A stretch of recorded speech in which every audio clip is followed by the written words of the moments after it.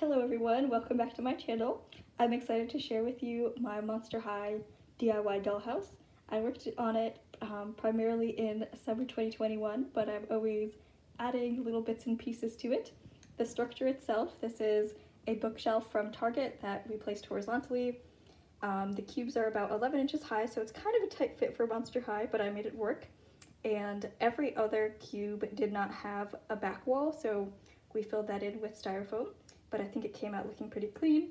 And on the top part, that Cleo's room, um, that is just made of cardboard because I wanted to add it on as kind of an extension. So yeah, and on the side there's some extra storage of other things like the hydration station and the Jackie locker that I just have tucked away. So yeah, let's get started. On the top we have some excess display of Monster High dolls, so just a bunch of characters that didn't fit in the dollhouse itself. Um, and then back there, there's also the Monster High School playset, the original one, and I really love it. I got it used, so it doesn't have all of its furniture and accessories, but the ones I did have, I have used already within this dollhouse and my Ever After High dollhouse. Um, so right now it's just folded up because it was too big to fit on this um, top section, but I think it makes a great backdrop still for my dolls. So yeah, let's get started with Cleo's room. Oh, and as you can see, um, I've got a set of lights on this top floor and this midsection. Monster High emblem as well, and also some little spiderweb decorations um, that are rings, so yeah. and now we can get started. So Cleo, I outlined her room with some golden rhinestones. There's also some blue ribbons and a bow. I have in the two corners some pillars which are made of paper towel rolls. I have an Egyptian image on this side. I have her cat here with some rice and some fruit. A side table I made um, with a artifact on it and also a vase filled with fruits because you know Cleo's favorite fruit is grapes. now we have Cleo's Vanity which is a Monster High playset and I got it used so it didn't have everything but I filled in with some various gold accessories, um, some mummy wrap, and um, a jewelry box that I made. This is my custom Frights Camera Action Cleo. She's sitting on just a box that I used as a stool, and I gave her some food, which is an eraser. And yeah, this is the divider um, from the Frights Camera Action playset. This bathtub came from like a lotion set for humans, and I thought that this bathtub would make a good size for fashion dolls. So I added some buttons as knobs, a faucet, and some ribbon as water. Put a little figurine that match Cleo's color scheme and a brush in there. Um, in the back there's also some photos of Cleo and Deuce. There's a window here, some candles, and a caddy that I made for her that has some hair accessories on the top. So that is everything in Cleo's room. Now navigating down over here, this is Clawdeen's room. The top section has um, this beaded section that I took off of her bunk bed. Speaking of which, Clawdeen is sitting on the bottom half of the bunk bed. If you watch my Ever After High Dollhouse tour, you'll see where the top part is. But I added a roll of blankets, a mirror, and some Foodie mini brands that have meat in it, because you know, Clawdeen loves to eat meat and I also gave her some DIY chicken wings. She also has a dress hanging on her wall because she is into fashion. Gave her a chandelier from Ever After High, some Monster High photos on her wall. I have a side table for her that's a coffin. I put a like a caboodle on top. I gave her a shelf and it's got like a stereo on top of it, a sign that says adore. That's Howleen entering her room growling at her, probably. Um, we also have a coffin back there that can be her wardrobe. Next over here is her TV and monitor. On top of it, there's like a binder and some steak and hot sauce. Over here, um, she's got some pet beds, so one for Cushion and one for Crescent, who's currently eating some salami. And I used the blanket from the bunk bed set to use as her rug. And yeah, and just some more Monster High decorations and Clawdeen pictures on this wall. So that is Clawdeen's room. Next, we move on to Draculaura's bathroom using pieces from her powder room playset. So Draculaura herself is sitting in the bathtub. I also added some water paper to give it some more realism. Gave her a little trash can and a rug, some dead tired slippers, and we DIY'd this toilet out of a Tic Tac container. Also a caddy over here with some more toiletries and a big bow on the wall that matches her color scheme. I also gave her a chandelier and this is a shelf I made using the, um, the powder room playsets like tray. Added some accessories on top and a sign. And on top of the sink, I added a comb, bottle of soap, and some glitter. So yeah, Draculaura can get ready uh, in a relaxing mood every day in her powder room. Next, as you can see, Draculaura again. Um, I had more Draculaura furniture and I decided to uh, make use of it. So this is a different Draculaura um, from the Draculocker series. I love her dark hair. We've got her coffin playset, which is her bed. Really like this piece. Um, I also have a pillow from a Monster High keychain and I added like a little laptop back there. A bunch of signs on the wall, including one of her and Clawd. I also added a chandelier in this room, a dress, a mirror back there, a side table that has a portrait of her, a pink bottle, diary, pen, shopping bag. Down here, another rug and slippers, another shopping bag, and a coffin that she can use as a wardrobe. And up here, a container from Monster High Minis that I'm using as a little house for Count Fabulous. So he's sitting on a little couch right there. And yeah, Draculaura is having a cup of tea. So that is Draculaura's bedroom. Next, we can move on to Lagoona's bathroom, which is using pieces from Lagoona's shower playset.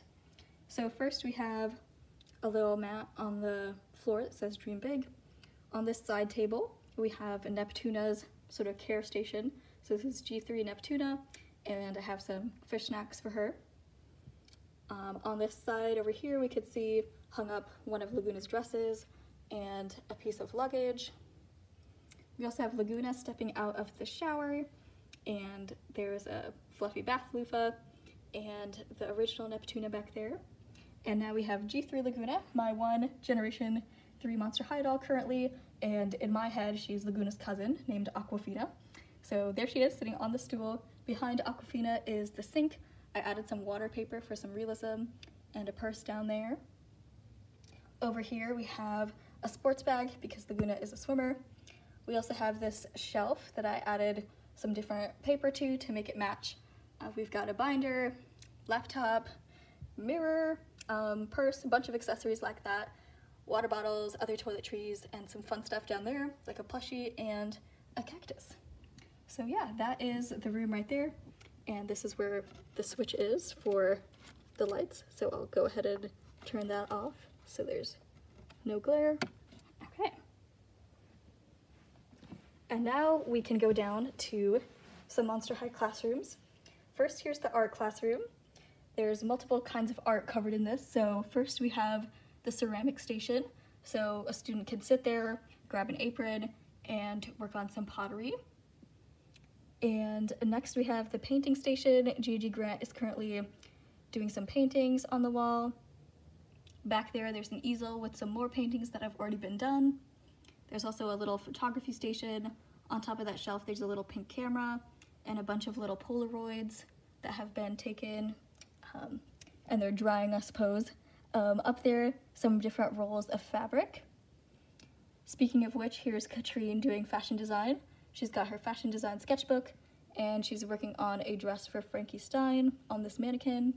There's also on that stool two transparent violins, so they can be like some ghostly instruments, I suppose. And then some more wall hangings on this side and a little door. So that is everything in the arts classroom. Right in front of it, a little hallway sort of section with a locker, has some juice and a notebook on top.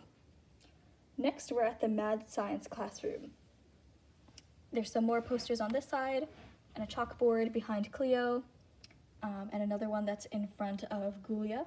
So right now they're lab partners um, and there's a desk here from the original school playset. I added a book, some soda, and a backpack. There's Sir Hootala on that little shelf um, yeah, and some science accessories behind Ghoulia. In front of Cleo, this is a desk that I DIY'd a long time ago. Um, and it's got a brain, a whisk, some different potions, some goo, some really um, big cat eye science goggles, just a lot of fun things to populate the mad science classroom. And right in front of that, another little hallway moment with Abbey. Um, and we painted this wooden coffin to be a locker. It's got some snacks and some books inside. There's Shiver on top. There's Abbey holding an Arctic Freeze drink, which I think would be great for her cold tastes. And I also gave her a backpack. So yeah, I'll just move her out of the way so you can see the student lounge slash study howl back here.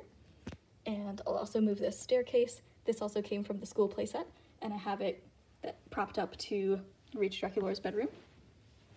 So yeah, here is the student lounge. We've got Toralei sitting in a chair. She's having some um, sushi and hot dogs. Underneath her chair, there's her pet Sweet Fang also having a snack. There's Elizabeth back there um, having a drink. And there's a little side table here with some more Monsterific foods. There's the vending machine back there, which I filled with some Monsterific snacks. Um, on this side, we have some popcorn um, and a popcorn machine. On top of that, a little TV for students to watch TV, um, a game down there, and Deuce's uh, pet rat. We also have some signs like this Monster High Picture Day sign, um, a bulletin board, and also a poster which is Class of Monster High that has a bunch of students' headshots. And yeah, there's um, that big purple couch back there that Elizabeth is sitting on. So that is everything in the student lounge. And lastly, we've got the Sweet 1600 party. So yes, once again, this is another Draculaura kind of room, but she's not here right now. But we have um, Operetta, Frankie, and Clawdeen. Um, Frankie and Clawdeen are both in like dancing poses. I have some cobwebs in front of the party room.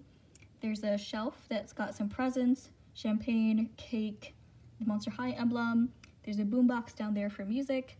Um, on the walls, there's a bunch of different Monster High emblems, which can be party decorations. Um, in front of Operetta is like a little DJ booth, and also there's um, like a garland that says boo that's framing this room. Also in the right hand corner there's a Sweet 1600 sign, and on the floor it's multicolored and glittery, so yeah, it looks like the perfect party room. And in front of that, Twyla's about to enter the party. She's at this door and um, I, I made this little pumpkin as well. It says boo. And yeah, and up there I also have a piece from Monster High Packaging that says Monster High, so I just tucked it in there. So yeah, with that, that concludes my Monster High dollhouse tour. I hope you enjoyed this um, video, and if there's anything in particular that you liked, please leave a comment below or leave a like. And yeah, once again, thank you for watching and hope to see you next time.